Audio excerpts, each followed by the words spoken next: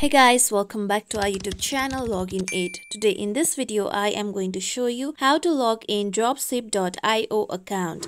Dropship.io is a popular dropshipping platform that offers an extensive product database with millions of options. To log in Dropship.io account, first open any web browser available on your PC. I am using Google Chrome. Now go to your search bar and type www.dropship.io then press on enter.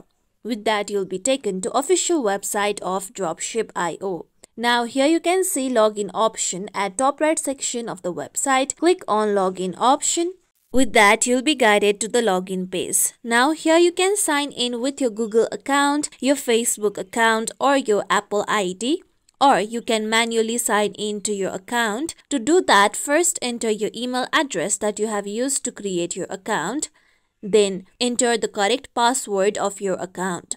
With that, if you want your credentials to be remembered, then click on Remember Me box.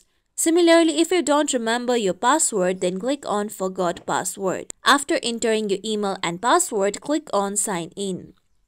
With that, you'll be able to log in to your Dropship.io account. This is how we can log in Dropship.io account on PC. This is it for tutorial everyone. Hope this tutorial was helpful to you all. If you like today's tutorial, make sure you like, share, subscribe to our YouTube channel for more tutorials like this. Thank you for watching.